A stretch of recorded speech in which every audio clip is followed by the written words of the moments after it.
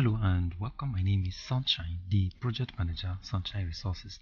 In this video, I'm going to show you how to make the World Health Organization approved hand sanitizer. Now this is necessary especially for those who want to produce in commercial quantities. So if you're new to this channel, you may consider subscribing so that you do not miss any of our videos each time we upload them. The World Health approved hand sanitizer can be made from the following materials. These are isopropyl alcohol, hydrogen peroxide, glycerin, and distilled water. Now let's state the quantity of materials needed to produce about 250 ml of hand sanitizer. Isopropyl alcohol, also known as IPA, 200 ml.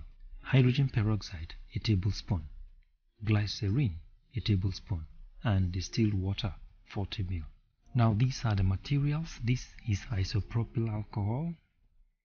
And this is hydrogen peroxide this is glycerin and this is distilled water. Now pour your isopropyl alcohol into a container and add a tablespoon of hydrogen peroxide to it.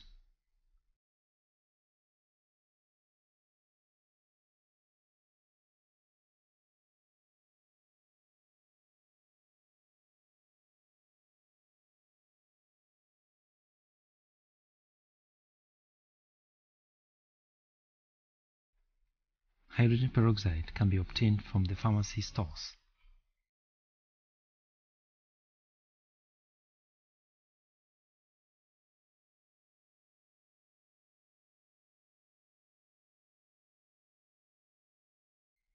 Now add a tablespoon of glycerin to it.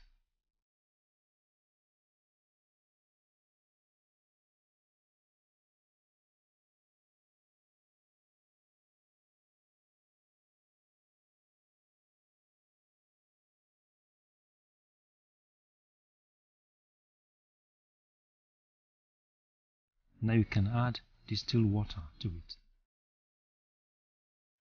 Now stir the solution and fill your spray bottle.